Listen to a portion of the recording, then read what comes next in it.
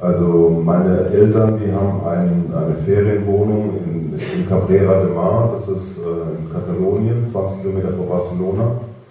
Und da ist ein großer Berg hinter dem Haus, der heißt Mont Cabré.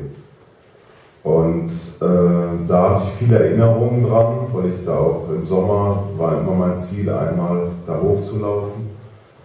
Und da habe ich einen Text auch drüber geschrieben. Mont Cabré. Ich bin den Weg schon zigmal gegangen. Nochmal.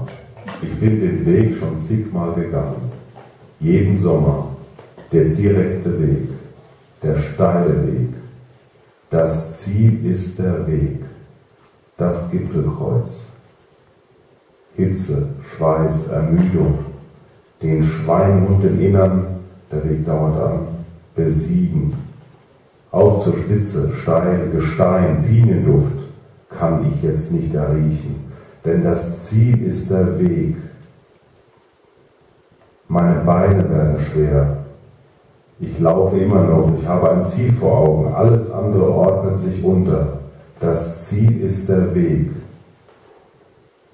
Der Wind frischt auf, wird kühler, die Brise, die meinen Schweiß trocknet, Salzkristalle, denen die Sonne die letzte Feuchtigkeit entzogen. Ein Grinsen sprengt die hauchdünne Kruste auf meinen Wangenknochen. Die Augenbrauen glätten sich. Meine Stirn wirft keine Falten mehr. Meer, Meer, ich sehe das Meer. Sonne und Meer, denn ich bin oben.